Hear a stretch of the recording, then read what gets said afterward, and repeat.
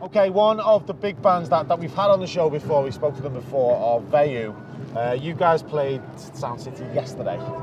No, we just played today. Oh, was it today, was it? Yeah, yeah. It was today, so Yeah. Sunday you played. How was the gig? It was all right, yeah. It was like we went. Um, we was here yesterday and having a good time and partying a bit, maybe a bit too hard. Really? Just a bit unprofessional. What's it like when you go on stage and you're a little bit worse for wear, hungover? Is it, does, the, does that atmosphere just lift you up? Yeah, definitely. Yeah. Um, it usually takes a few songs to get in, and um, because it's only half an hour set, you just feel like you're getting warmed up, and then you have to get off. And you're But- off. You just Yeah. drink drink through it like you do in any Yeah. uh, profession.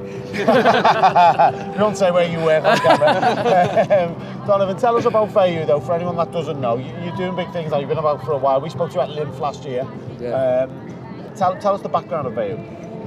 We're a bunch of local lads. Uh, obviously, you can tell by my accent I'm pure Scouse, but uh, um, no, we we, we uh, no we met here. We, we've uh, been producing music ever since, and uh, it's just been growing from strength to strength. We started off putting on our own uh, nights in an art gallery in Liverpool, and we real private scene where we like put on like visuals and crammed it in, set up our own bar and that, and and there was a real underground scene, and then it just just took off from there. Like it was just like. Yeah, yeah, But, yeah. um, just took off. Yeah, it's great. Well, Sound City, um, look at that for a backdrop, mate. For a, for a festival backdrop. Yeah. Can't ask for much better, can you? Yeah, it's- it looks, re- looks really cool, doesn't it? It's, um, it's a bit weird because we played Sound City last year. Obviously, that was in the city. Yeah. So it just feel, it does feel like a completely different festival. It's like a new this festival, year. isn't it? Yeah, yeah. It feels like something's been born this weekend. I, I just feel like this is like the birth of something Yeah. fresh and organic, and it just feels like it's going to be. There's growth potential. Um, like, it's, you know- it's unbelievable. From knowing you, I'm quite surprised that you're not the one, because no one apparently has ended up in that water.